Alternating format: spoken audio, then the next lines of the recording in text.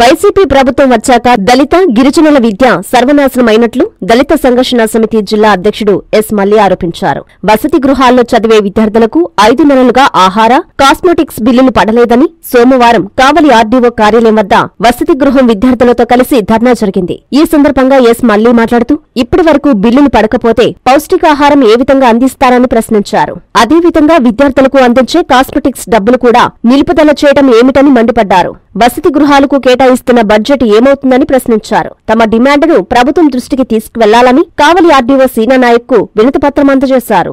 Sir నా పేరు yes మల్లి. నేను దళిత సంఘర్షణ సమితి జిల్లా అధ్యక్షుని.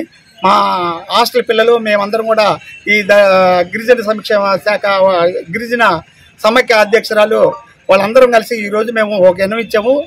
ఏంటంటే మన రాష్ట్ర వ్యాప్తంగా కూడా ఈ సంక్షేమ హాస్టల్స్లో జూన్ పన్నెండు నుంచి తీశారు. ఇప్పటికీ ఒక ఐదు పైసలు కూడా ఇవ్వలేదు. బడ్జెట్ కూడా లేదు అది ఇది మరి ఎంత దుర్మార్గమైన విషయము? ఎందుకంటే మరి ఎట్ట తినాలి? ఐదు నెలల నుంచి పిల్లలు ఏం తినాలి? ఇప్పుడు పాపం కనీసం సబ్బు కూడా డబ్బులు లేకుండా వాళ్ళు ఎంత దుర్మార్గంగా వ్యవహరిస్తారు ప్రభుత్వము.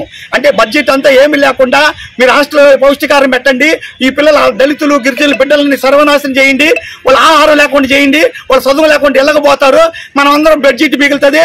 మనం అందరం జల్సాగా లండన్లోకి వెళ్ళి మంచి ప్రత్యేకమైన విమానంలో తిరుగుదాము అని చెప్పేసి కుతంత్రంతో ఉన్నారు తప్ప ఇప్పుడు మా డబ్బులు తీసుకెళ్ళి జల్సాలు చేసుకోవడం సంక్షేమ హాస్టల్స్లో డబ్బులు బడ్జెట్ తీసుకొని కోట్ల రూపాయలు కేంద్రం ఈయన జగన్మోహన్ రెడ్డి ఇచ్చేది కూడా కాదు ఇవి కేంద్ర ప్రభుత్వం నుంచి ఇచ్చాయి ఆ బిల్లులు కూడా తీసుకొని ఇప్పుడు ఐదు నెలల నుంచి బిడ్డలకి ఒక్కరు కూడా సబ్బు డబ్బులు కూడా ఇవ్వకుండా ఆ డబ్బులు కూడా కనీసం తల్లులు అకౌంట్ వేస్తే బ్యాంకు కూడా జమ చేసుకుంటుండే. ఈ విధంగా చేస్తా ఉన్నారు. ఈ విధంగా సంక్షేమ హాస్టల్స్లో గ్రామీణ ప్రాంతాల్లో హాస్టల్స్ కూడా లేకుండా చేశారు. బాలికలు హాస్టల్ లేకుండా చేశారు. బాలికలు ఉపాధికి పోతున్నారు. బాలికలందరూ కూడా ఉపాధి పోతున్నారు. మా దళితులు గిరిజనులకు సర్వనాశనం చేశాడు జగన్మోహన్ రెడ్డి ప్రభుత్వం. మాకు ఇప్పుడు ఏ రోజు కూడా ఐదు నెలల నుంచి బడ్జెట్ ఇవ్వకుండా సోషల్ వెల్ఫేర్ హాస్టల్స్ హాస్టల్కి సంక్షేమ హాస్టల్కి గిరిజన హాస్టల్కి బడ్జెట్ ఇవ్వకుండా ఎవరన్నా ఉంటారా? ఆ బడ్జెట్ డబ్బులు ఏ డబ్బులు తీసుకొని లండన్లో జలసాగా తిరుగుతున్నారు వాళ్ళు జలసాగా తిరుగుతుంటే మాకు అభ్యంతరం లేదు. మాకు సంక్షేమ హాస్టల్స్ బిల్లులు ఇవ్వాలి కదా. ఈ రోజు కోడిగుడ్డు అన్నారు జాబ్ అన్నారు. ఏది హాస్టల్ వాటిని అడిగితే మాకు ఐదు నెలల నుంచి బిల్లులు రాలేదని చెప్తున్నారు. కాబట్టి ఇది అన్యాయం ఇది దుర్మార్గము కాబట్టి తప్పకుండా మాకు బిల్లులు అన్ని ఇవ్వాలి బడ్జెట్ ఇవ్వాలి తలకు డబ్బులు ఇవ్వాలి సౌరు డబ్బులు ఇవ్వాలి ప్రతి ఒక్క డబ్బు మనకి ఇవ్వాలి. మాది బడ్జెట్ కేంద్ర ప్రభుత్వం నుంచి ప్రభుత్వం పంపించే డబ్బుని ఇది సర్వనాశం చేయమంటే జగన్మోహన్ రెడ్డి. మా బిడ్డలను సర్వనాశం చేస్తున్నాడు. మాకు సబ్బు లేకుండా చేస్తున్నాడు అన్నం లేకుండా చేస్తున్నాడు డైట్ బిల్లు కూడా లేకుండా చేస్తున్నాడు. కాబట్టి తప్పకుండా మాకు జగన్మోహన్ రెడ్డి గారు ఇదంతా బడ్జెట్ ఇవ్వాలనేది మేము కోరుకుంటాం.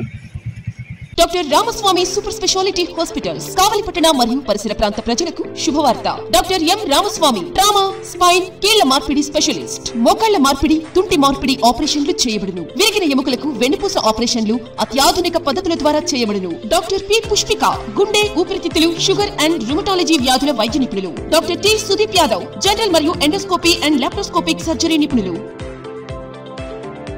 హెర్నియా పేగు జారుట ఇరవై నాలుగు గంటల పేగు హైడ్రోసెల్ ఆపరేషన్లు చేయబడును. వెంటిలేటర్తో కూడిన అధునాతన intensive care unit ICU doctor YSR Aarogyasri పథకం ద్వారా అర్హులైన వారికి ఉచితంగా ఆపరేషన్లు చేయబడును. Doctor Ramaswamy super speciality hospitals Vishnulayam వీధి కావలి.